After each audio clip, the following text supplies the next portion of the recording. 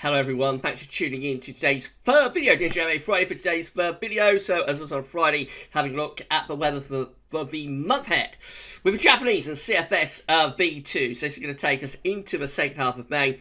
And I shall get on with that uh, for you in a moment. Just say about the first video released today was our 7am upload. Nice little couple of minute forecast uh, looking at weather next few days. And uh, we released the ECM WF 42 day forecast. So with the ECM model, um, it's all looking rather mysterious uh, for May. So we'll see if the JMA and CFSV2 can uh, shed any light on uh, developments. Um, as I should get on get on that for you uh, in, in a second. Just say I've got the 10 to 14 day coming up with all the regular features, and also we'll have an, an a uh, bank holiday update for you uh, this evening, tonight. Uh, after 7 o'clock. So, five uploads today. Uh, crazy day. If you're enjoying the uploads, enjoying the videos, then please smash the like button and let YouTube know that you are enjoying it. Thank you so much, everybody, for doing that. Right, it's such a busy day. I think better get on with it. So, we're going to have a look at the uh, JMA 500 millibar height anomaly from the North Pole and Arctic view down, first of all. So, of course, this is the North Pole of the Northern Hemisphere just here. We've got mid latitudes uh, around here. Uh, yellow, orange, and red extrapolate to above average, average heights, which is high pressure. Blue to below average heights, which is low pressure. These are broken down to week periods. The first week period takes us from the 23rd to the 30th of April. Next week, or the coming week, we'll have high pressure in the North Atlantic going up towards Greenland, trough of low pressure in over Scandinavia, Northern Europe, and that will bring in quite a cold northerly or northeasterly wind, so cold uh, northeasterly winds to start us off. We go through to week two, it's all changed. This is the 30th of April to the 7th of May. Low pressure then is in off the Atlantic. So, yes, in comes below pressure uh, from the Atlantic into Northern Europe as well, turning increasingly unsettled uh, there with bouts of rain heading in off the Atlantic Ocean. The blocking is going over more towards the Canadian side of the Arctic. So, we take blocking more towards the Canadian side of the Arctic, which means we may start to draw in something a little bit milder with the air from off the Atlantic Ocean, but of course the price to pay for that is that it looks more unsettled. Then we go through to weeks 3 and 4, which will take us from the 7th through to the 21st, 7th to the 21st of May. Um, and this one looks rather unsettled still. Uh, low pressure below average heights around Greenland, Iceland. Also a bit of a trough over Scandinavia maybe like a flat sort of westerly type flow. Um, so again, a little bit mysterious really through weeks three and four. But then again, often is uh, with the JMA. I will think that's probably still rather unsettled though. Uh, so let's confirm all of this with the tropical and mid-latitude uh, view, shall we? So we're going to have a look at... Uh, so we can't see the Arctic and North Pole and Greenland and most of those. They're the chart up here.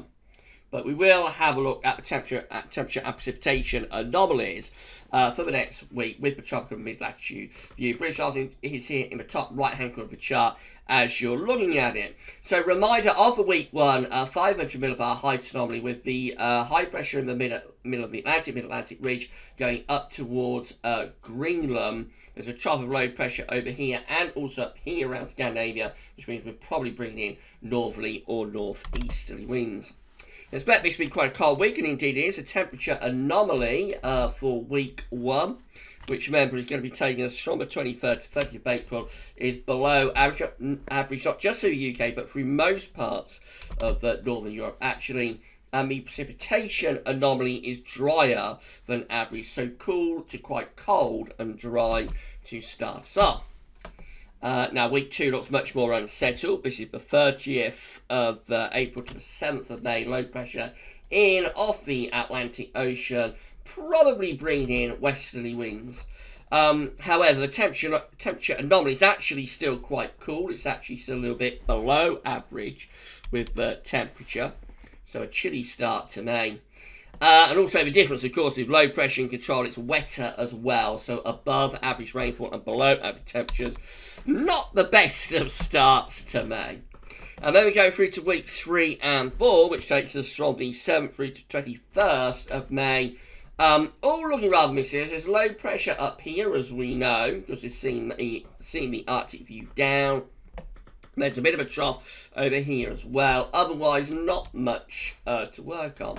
Temperature, anomaly is lifting up a little bit, so it's not quite as chilly in weeks three and four as it is in weeks one and two. Perhaps around average to possibly slightly above.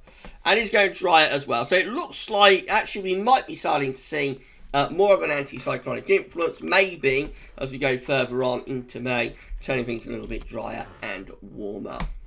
So let's have a look at CFS V2 and see how that compares. Again, these are 500 millibar heights broken down into week periods. The first week period takes from 23rd, 29th of April. The coming week, again, mid-Atlantic region going up towards Greenland.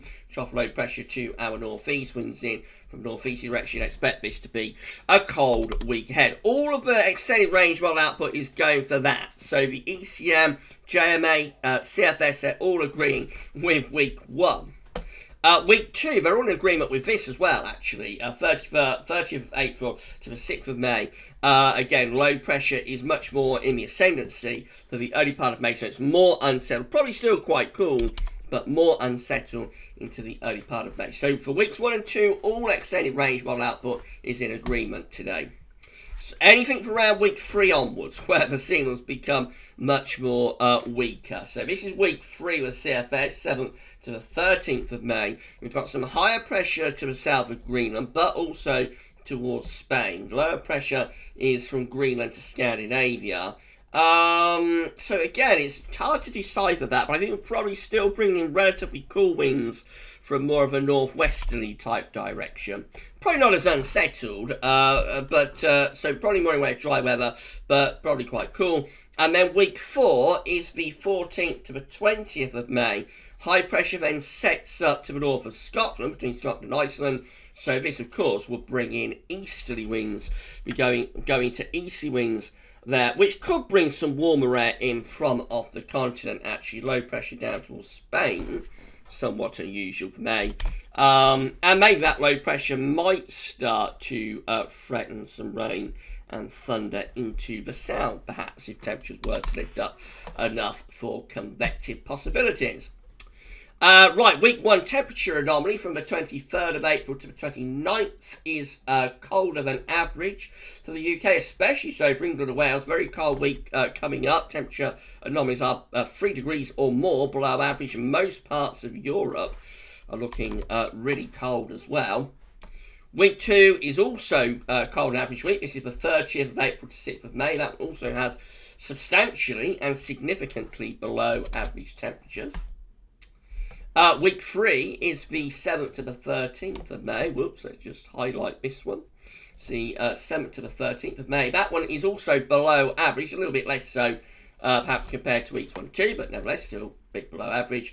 And then uh, week four is the 14th to the 20th of May, with near normal to slightly below average temperature. So there might be a bit of a gradual recovery in the temperature taking place uh, as we go through May. But overall, it does look like quite a cool month, uh, certainly first after month anyway, for CFS. Uh, lastly, precipitation. So this is week one. Precipitation anomaly from the 23rd, 29th of May. Dry and average, cold and dry uh, week coming up. Week two is the 30th of May to uh, 30th of April, 6th of May. That one is near normal for precipitation. Uh, week three, but you would expect to be more unsettled than that, I think, with low pressure off the Atlantic. Um, week three, 7th to the 13th of May. Um, losing a signal now, so probably no signal and no signal for week four either. I would expect by week four, it is probably quite dry though, as that high pressure takes over across Scandinavia.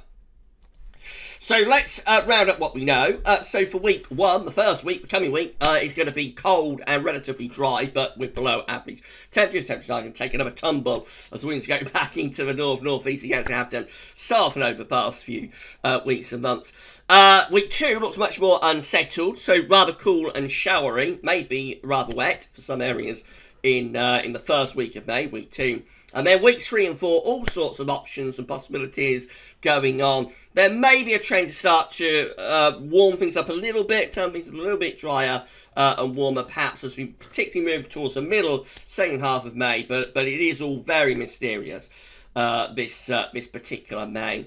Of 2021. So all will be revealed, of course, in the coming days. Right, that's it for that one. Uh, we're going to be back. Remember, any forecast beyond uh, beyond sort of five, seven days is fraught with danger, fraught with health warning. So it's all just for fun and just a snapshot of what these models are showing today, but it could all, could all look very different uh, next week, of course. We're going to be back later on with your 10 to 14 day, which will include all regular features. So come back for that then. And then we've got our latest bank holiday update for you tonight. For this one, that's all for now, though, and thanks for watching.